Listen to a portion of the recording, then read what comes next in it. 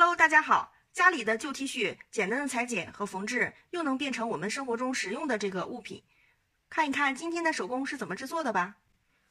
我的这个 T 恤呢是比较短的这种，如果是长款的话，可以从腋下直接裁剪来制作。因为我这个比较短，所以要利用到上半身。首先呢，我们把这个袖口给它裁掉。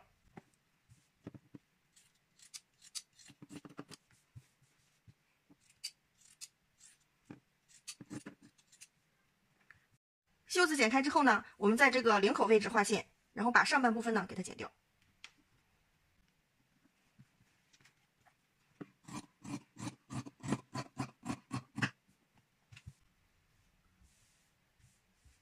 我们在这个一侧呢给它画一个弧线，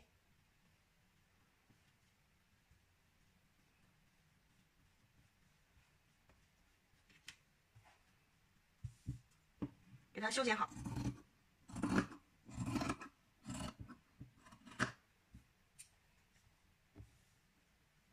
我们把它折好，折到另一侧，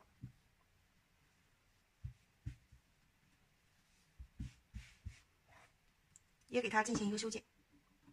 这次修剪的呢，要比它稍微大一些，略宽一些。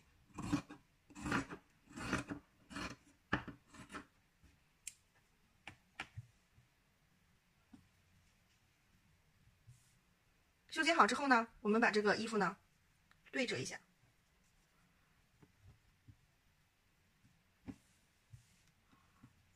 我们把这个布料的这个底部呢，给它车缝一下。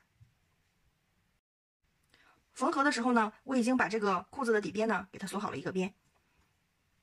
之后呢，我们需要把这个裤子呢向内折，然后车缝。两条裤腿都是这样制作的。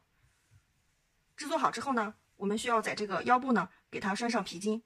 我们可以利用它以前的这个布边拴上皮筋，也可以重新给它向里窝一下，然后再缝上皮筋也是可以的。裤腰呢和这个底边呢，我们都已经给它车缝好了。我们可以在这个裤腰的位置上呢，给它缝上一个蝴蝶结，作为一个装饰。这样我们就用一个短袖改造了一条实用的家居短裤。好啦，今天的视频就到这里，喜欢的亲亲记得收藏、点赞、关注明明子，更多实用手工与您分享。